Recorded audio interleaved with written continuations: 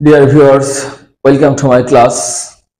Today's class is about emphatic pronoun. Now let's start the class. Pronoun part 5 emphatic pronoun. Now I am going to give you the definition and uh, now I um, I'm going to show you the difference between emphatic pronoun and reflexive pronoun First of all, definition. An emphatic pronoun emphasizes on the subject or on the object. It is placed after the subject.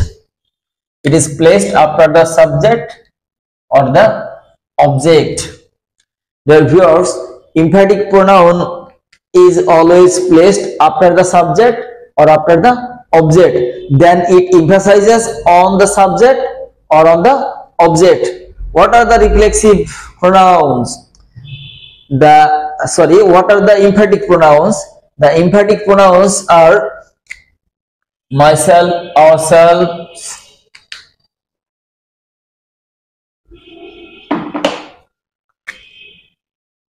ourselves yourself yourselves himself herself themselves and itself. These are the emphatic pronouns because uh, they always uh, emphasize on the subject or on the object. That is why uh, they are emphatic pronouns. Now uh, two examples here.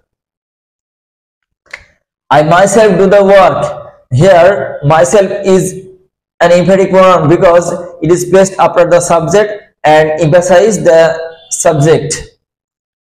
So it is emphatic pronoun. I made the chairman himself. Here himself is an emphatic pronoun because uh, it uh, is placed after the object and it emphasizes on the object. That is why himself is an emphatic pronoun here and now i am going to give you uh, the difference between emphatic and uh, reflex pronoun. Are viewers. Reflexive pronouns are always placed uh, after the verb transitive verb as an object. But emphatic pronouns are always placed after the subject or after the object to emphasize them. So this is the difference between emphatic and reflexive pronoun. Uh, dear guys emphatic pronoun is clear to all of you. Uh, thanks for watching the class and wait for the next class